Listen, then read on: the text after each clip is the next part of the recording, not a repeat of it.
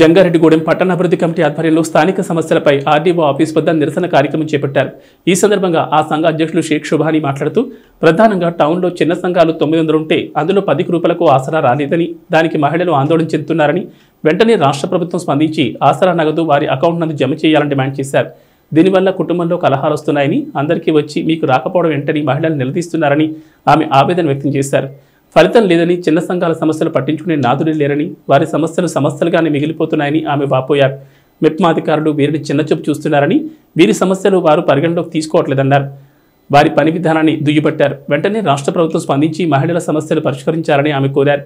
అదేవిధంగా కార్మిక నాయకులు పచ్చల సూర్యారావు మాట్లాడుతూ కొండపల్లి భాస్కరరావు అనే రైతు తన పాడి గేదెను కోల్పోయారని దీనికి కారణం పామాయిల్ ఫ్యాక్టరీ నుండి విడుదలవుతున్న కెమికల్ వాటర్ కారణమని ఆ వాటర్ తాగి మృతి చెందిందని ఈ సమస్యను అధికారుల దృష్టికి తీసుకువెళ్తే అధికారులు పట్టించుకోలేదని ఆయన ఆవేదన వ్యక్తం చేశారు. ఎస్కే సుభాష్ని పట్టణ అభివృద్ధి కమిటీ అధ్యక్షురాల్ని ఈ రోజున ఆర్డీఓ ఆఫీస్ నందు జంగారెడ్డిగూడెం పట్టణంలో పట్టణాభివృద్ధి సంఘంలో నిరసన కార్యక్రమం చేపట్టడం జరిగింది. ముఖ్యంగా ఏంటి అనంటే టౌన్లో ఉన్నటువంటి చిన్న సంఘాలు ఆసరా రాని గ్రూపులు ఈ రోజున అనేక ఇబ్బందులు పడతా ఉన్నారు. దాని మీద ఇప్పటికే మొన్న స్పందనానందు మనం ఫిర్యాదు చేసాం గ్రూప్లో కొంతమంది ఫిర్యాదు చేశారు. అయినా కూడా సమస్య పరిష్కారం కాలేదు. ఈ రోజున మళ్ళీ కూడా ఆందోళన కార్యక్రమం చిన్న సంఘాల చేత మరి ఈ నిరసన కార్యక్రమం చేపట్టడం జరిగింది. ముఖ్య ఉద్దేశం ఏంటనంటే టౌన్లో దాదాపు తొమ్మిది వందల గ్రూపులు ఉంటే తొమ్మిది వందల గ్రూపులు అన్ని గ్రూపులకి పడి ఈ రోజున టౌన్ మొత్తం మీద పది గ్రూపులకి యాసన పడనటువంటి సమస్య మనకు కనిపిస్తూ ఉంది.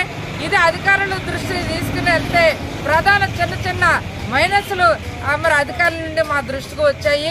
దాన్ని సరి చేసుకుని పంపించామా అని అంటారే తప్ప ఇప్పుడు మూడు విడతలు కా కావస్తున్నా కూడా ఈ రోజున వీళ్ళకి ఆసరా రానటువంటి పరిస్థితి మనకు కనిపిస్తూ ఉంది.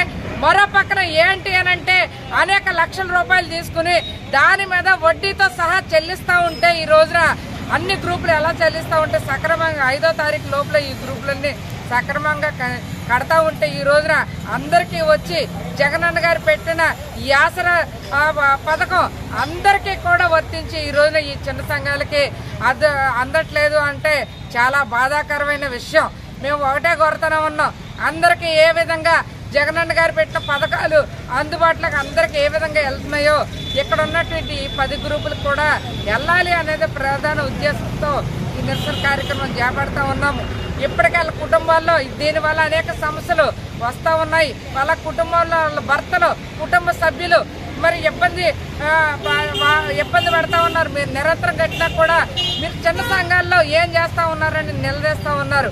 ఇప్పటికైనా ప్రభుత్వం స్పందించి ఈ ఆడబిడ్డల బాధ విని వెంటనే వీళ్ళకి ఆసరా వెంటనే ఇలా అకౌంట్ల నందు జమ చేయాలి అని ఈ సందర్భంగా కోరుతున్నాను మిత్రులారు. సాయి ప్రసన్న గ్రూపు మరి మూడు విడతలు కూడా అసలు రుణమాఫీ వైఎస్ఆర్ అసలు పడలేదు. మేము సక్రంగా కట్టుకుంటున్నాము.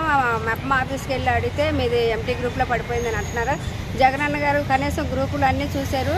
మా గ్రూప్కి డబ్బులు పడతలేదని మూడు సార్లు స్పందనలో పెట్టాము. పెట్టినా సరే మీది క్లోజ్ చేసేసాము. అన్ని సమస్యలు తీర్చేసామని మా ఆఫీస్ వారి నుంచి లెటర్లు పంపిస్తున్నారు కానీ మా సమస్య ఏమీ తీరలేదు. మా నగదు పడలేదు అమౌంట్.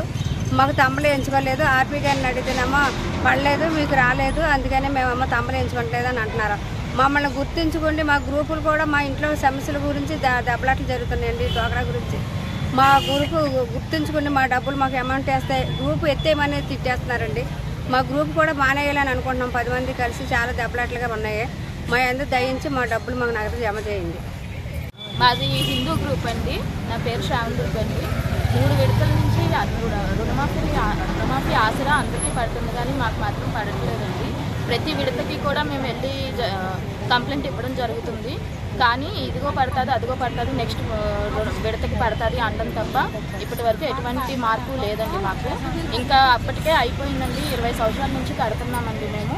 అయినా కానీ ఇలాగే ఇటువంటి పరిస్థితి కల్పిస్తుంటే మాకు ఇంట్లో చాలా ఇబ్బందులు అవుతున్నాయండి. దయచేసి మాకు సమస్యను ఇప్పటికైనా పరిష్కరించండి. మాది కృపా కృపా గ్రూప్ అండి. జంగారెడ్డిగూడు మరి మాకు రుణమాఫీ రాలేదండి. ఎంతో సక్రమంగా మా గ్రూపులు మేము ఐదో తేదీ కల్లా చక్కగా కట్టుకుంటున్నామండి. మరి మూడో ఇడతగా కూడా రాలేదు. మాకు ఎంతో బాధాకరంగా ఉందండి. మా గ్రూప్ వాళ్ళందరూ ఎందుకు వచ్చిన గ్రూప్ తీసేసుకుందాం అంటున్నారు. మరి జగనన్న గారు మరి అందరికో న్యాయం మాకో న్యాయం కాదు కదండి. రుణమాఫీ అంటే అందరికీ కదండి. మరి జగనన్న గారిని మేము కోరుకుంటున్నాము. మరి ఈసారి కూడా మాకు రుణమాఫీ రావాలని కోరుకుంటున్నామండి. మూడు విడతలు ఇప్పుడు మాకు రుణమాఫీ పడలేదు. మూడు విడతలైనా మాకు రుణమాఫీ పడలేదు. మా అత్తయ్య గారు మా మావయ్య గారు అందరూ తిడుతున్నారు. గ్రూప్ మానేమనేసి అంటున్నారు. మా ఆయన గారు కూడా తిడుతున్నారు. మీటింగ్ ద్వారా మానేమని. ఎలాగైనా మాకు రుణమాఫీ వచ్చేలా చూడమని. నమస్తే అండి. మాది ఇందిరా గ్రూప్ అండి. మేము రెండు వేల నాలుగులో జాయిన్ అయ్యాం. ఇప్పుడు వరకు మాకు పావుల వడ్డీలు రుణమాఫీ ఏమీ పడలేదండి. దయించి మాకు మా రుణమాఫీలు మాకు వేస్తారని మేము కోరుకుంటున్నామండి